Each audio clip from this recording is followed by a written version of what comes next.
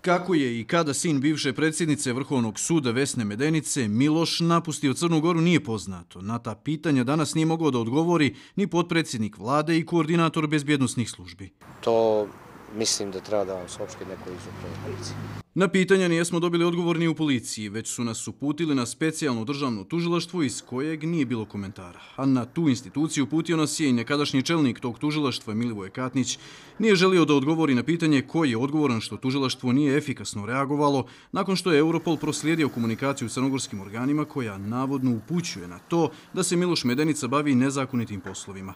Državni sekretar u Ministarstvu pravde i član tužilačkog savjeta Andrej Milović sada očekuje brzu reakciju nadležnih. Promjene u državnom tužilaštvu, pogotovo u specijalnom državnom tužilaštvu, daju nam pravo da se nadamo da će se što prije preduzeti odlučni koraci u tom smjeru. Nepravo vremenu reakciju nadležnih Milović dovodi u vezu s nekadašnjim položajem majke Miloša Medenice.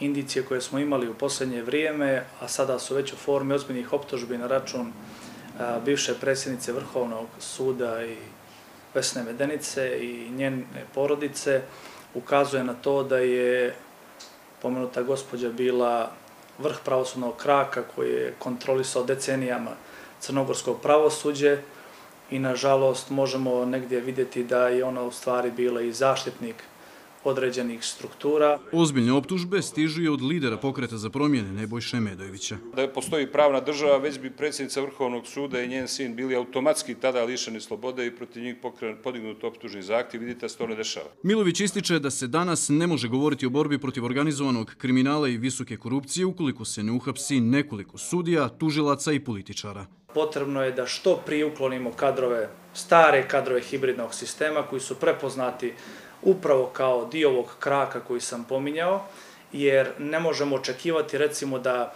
kadrovi e, gospođe Medenice koje je ona postavljala zadnjih 20 godina sude njoj i licima sa koja ona bila povezana. Komentar o cijelom slučaju probali smo da dobijemo i od Vesne Medenice. Međutim, odgovore nije bilo.